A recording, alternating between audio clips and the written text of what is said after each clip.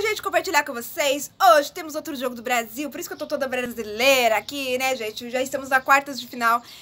Se Deus quiser, a gente vai passar pra semifinal, né, gente? Porque eu dependo do Brasil pra fazer meu aniversário, gente. Meu aniversário vai ser tema brasileiro.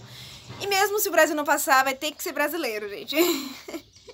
Eu passo esse mico por, pelos meus meninos que fizeram uma grande história no Brasil, se acaso não vencer hoje.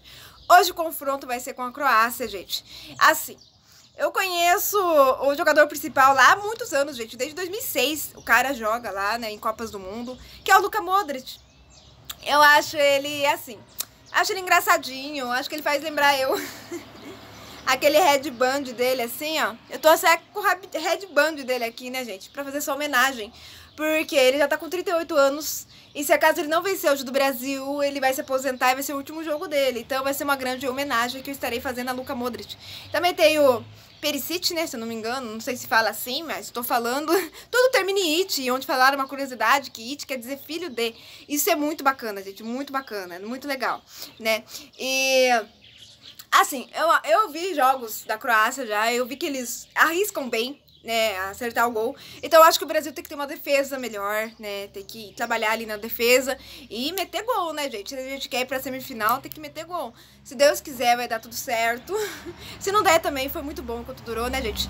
Mas assim, eu confio no meu Brasil e mesmo com medo, confesso que eu tô angustiada, mesmo com medo, eu creio que a gente vai. A gente vai pra semifinal, se Deus quiser, né, gente?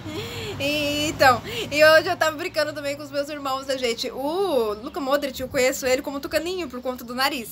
Daí a gente tem o Pombo, por conta do Richardson, por conta do nariz, né? A narina de Pombo, narina de Tucano, o Luca Modric. Daí hoje eu brinquei com os meus irmãos, falei assim, quem que tem a bicuda? Ah, que, que dá uma bicuda melhor? Tem a bicuda maior? Um pombo ou um tucano? Daí aí eu já fiquei meio preocupada, né, gente? Mas é só pra tirar um pouco essa tensão de jogo, né, gente? Tudo mais. A gente tem que fazer piada mesmo. E é isso, né, gente? Que vença o melhor, mas vai Brasil acima de tudo, né, gente? Por favor. E é isso.